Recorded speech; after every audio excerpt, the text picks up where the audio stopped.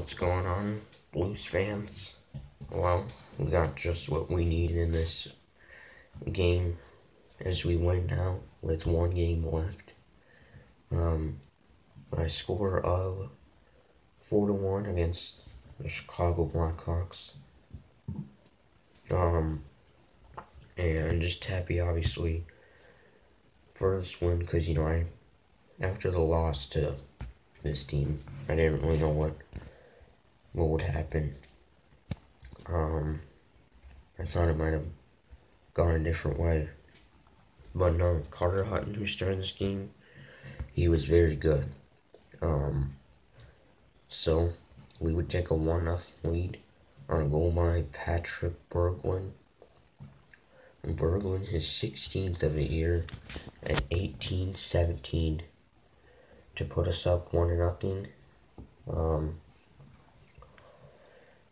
uh, then stay that way until about halfway through that third period when Chicago tied up on a goal by Erik Gustafsson. His eighth of the year to tie it up at one. However, just 16 seconds later, we would take the lead back. Two to one on a goal, another goal by Berglund. Um, an eight an eight twenty six to put us back up two to one. Um, so just happy for that. Didn't really know how that came. Um, and then we get three one on a goal by uh, Jaden Schwartz. Uh, his 23rd of the year to put us up 3 to 1. And then we get 4 1. Empty net goal by Berglund, that's right, he would have a hat trick. Um, so just happy for that. Um, I think he actually had an, a hat trick earlier, um, well, actually last season. Um,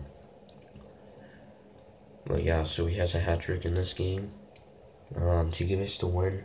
And, well, our final regular season game will be in Colorado um, Saturday night. Um, and that game pretty much will decide who will be in the playoffs and who won't. Because pretty much the winner of that game will be in the playoffs, and the winner of that will will be done. So that's basically almost like a playoff game. Um, and it's a must win for us, pretty much, if we want to make the playoffs or not for the seventh straight year.